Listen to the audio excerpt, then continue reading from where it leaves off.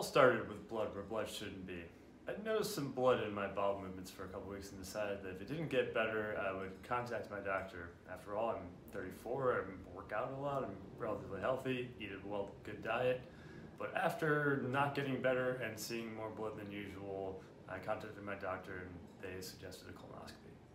After Dean's first colonoscopy, uh, we were told by his doctor that he had stage two rectal cancer. After that, it was a whirlwind of appointments and tests and imaging. Having MRI scan, CT scan, and more needles in me than I care to count, I knew at least that I had the best team around me probably in the world to help me through this. And the great thing is, is that for us, day to day, we're able to help one another, and we have a great network of support from our family and friends for everything else in between.